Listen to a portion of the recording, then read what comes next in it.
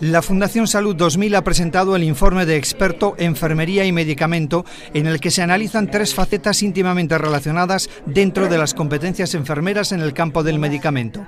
La prescripción enfermera, la información terapéutica y la adherencia al tratamiento nos parecía que era un tema relevante, que la enfermería tiene un papel muy importante en el tratamiento de la salud, tanto en la prevención como en el tratamiento de enfermedades, porque hay una parte preventiva que es muy interesante, en la adherencia a los tratamientos. Entonces parecía que darle esa relevancia a la enfermería en este momento, igual que lo hemos hecho con los médicos, igual que hemos hecho con otras profesiones que forman parte del equipo, es importantísimo. Por eso hemos hecho este informe. El informe resalta la necesidad del desarrollo reglamentario por parte del Gobierno de la ley del medicamento para dar mayor seguridad jurídica a los profesionales de la enfermería en la prescripción de medicamentos.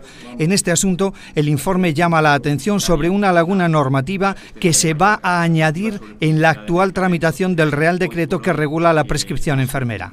No podían, por ejemplo, bueno, no pueden, de hecho, todavía porque esa norma no se ha cambiado, eh, recibir eh, información directamente de la industria farmacéutica sobre productos de prescripción y simplemente el hecho de que puedan realizar el seguimiento farmacoterapéutico, de que tengan atribuciones también en el campo de la información, pues hace que eso sea un contrasentido. O sea, tienen que tener, lógicamente, una ilustración suficiente para actuar como profesionales sanitarios de cara a la mejor asistencia del paciente. El Real Decreto que desarrolla el reglamento que regula la indicación, uso y autorización de determinados medicamentos ya está cerrado, con acuerdo del Ministerio de Sanidad, Organización Médica Colegial, el Consejo General de Enfermería y el sindicato SATSE. Ha sido motivo, de, lógicamente, de, debate y está cerrado.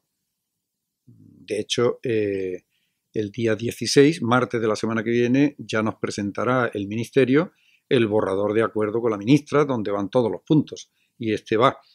Entonces, eh, desde luego, la intención parece ser que antes de fin de mes se haya firmado por las dos profesiones y, bueno, mm, como no puede ser de otra forma, este punto es uno de los puntos claves que tiene que estar perfectamente definido en el acuerdo para que haya acuerdo y haya firma.